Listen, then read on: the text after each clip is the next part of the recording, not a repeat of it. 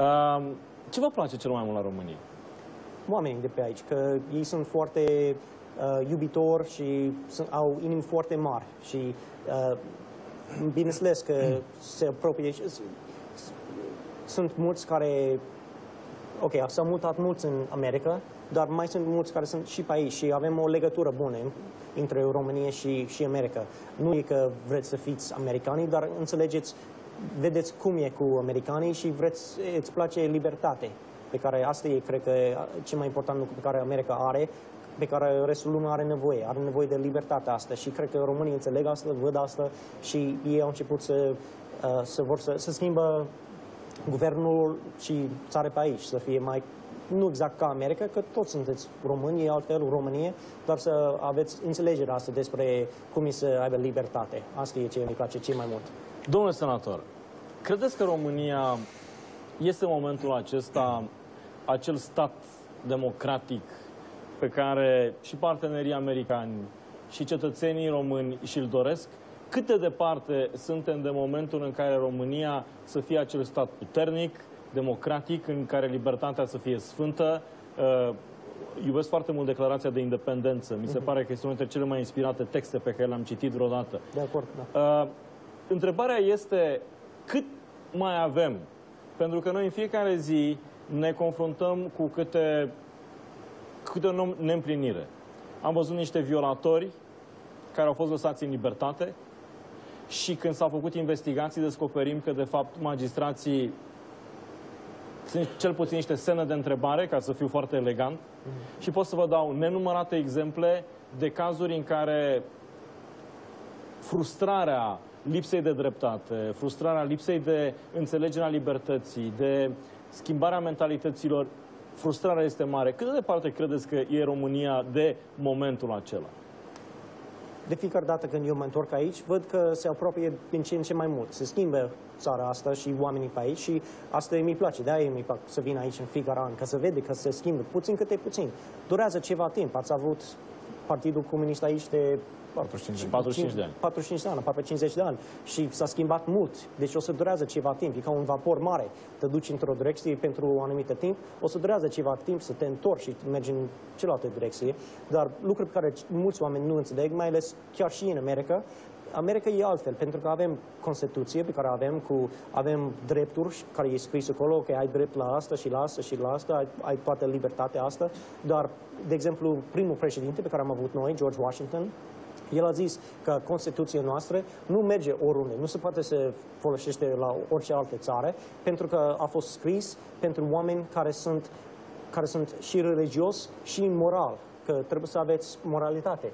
Când, pentru că putem să avem legi și avem multe, multe legi. Poți să spui oamenii, ok, nu poți să ucide pe altcineva, nu poți să furi de la altcineva, dar oamenii trebuie să schimbă inima lor. Asta e chestia cea mai important.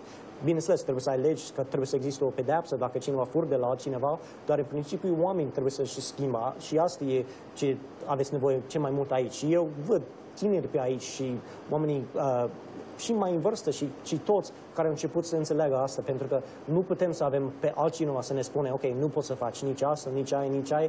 Tu trebuie să știi în inima ta că, ok, asta nu e corect. Nu am să fur de la altcineva, pentru că asta nu e corect. Și asta e ce aveți nevoie cel mai mult și trebuie să fie oameni creștini, să se porte ca, ca Isus. Că El e exemplul nostru și trebuie să știm că, ok, nu poți să fur, nu pentru că guvernul mi-a spus că nu pot să fur sau e o lege împotriva asta, dar nu, nu am să fur de la altcineva pentru că știu că e greșit. Și asta e schimbarea cea mai importantă pe care văd eu. Ce aveți nu doar în, în România, ci în America și peste toată lumea. Asta e ce ne trebuie. În calitatea mea de prieten al poporului american, uh, pot să am o rugăminte pentru dumneavoastră?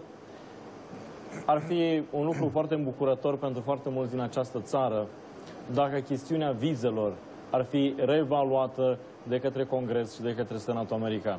Foarte mulți și-ar dori să poată călători, să-și viziteze familiile, să vadă lumea pur și simplu.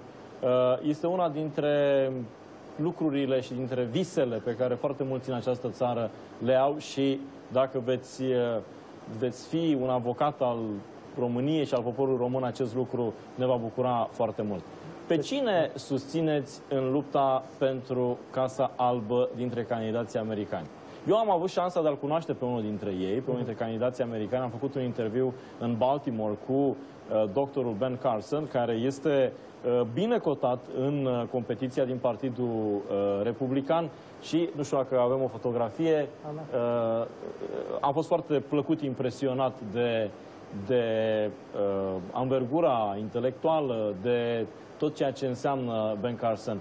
Pe cine simpatizați? Aveți voie să spuneți? Am, și sunt cam trei care Trei? îmi place și mai mult. Ben Carson a fost în Oklahoma de mai multe ori și am făcut cunoștințe cu el și mi place povestea pe care o are, că Da. el are multe povești și e un, un, om, pe- un om de cinste. Am și întâlnit pe sen, senatorul Ted Cruz, care e din Texas. Oklahoma și Texas suntem foarte apropiați și mi place ce zice el, că el, uh, el e foarte, sta foarte tare pe Constituție noastră. El zice, ok, Constituție scrie așa și trebuie să urmăm ce scrie în Constituție. Și îmi place pe el, dar cel pe care mi place cel mai mult e Rand Paul, pentru că el încercă să, să facă legătură cu tinerii. Și cel mai mulți nu fac asta. Cel mai mulți se uită doar la cei mai în vârstă și bineînțeles că trebuie să vorbești și cu ei, dar el se duce după generații mai tânări.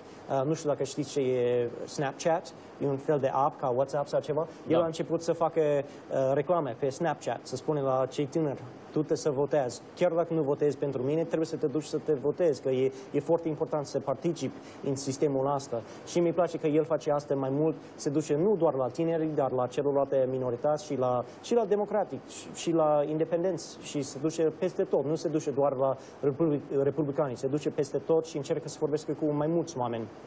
Și mi place asta, că de multe ori nu ne ducem decât la oamenii cu, cu care semănăm prea mult. Sunt, trebuie să ne ducem la alți oameni care au alte idei și să vorbim cu ei, să aflăm că poate ei au o altă idee care e mai bine decât ce avem noi. Și eu zic că Rand Paul e preferatul meu deocamdată.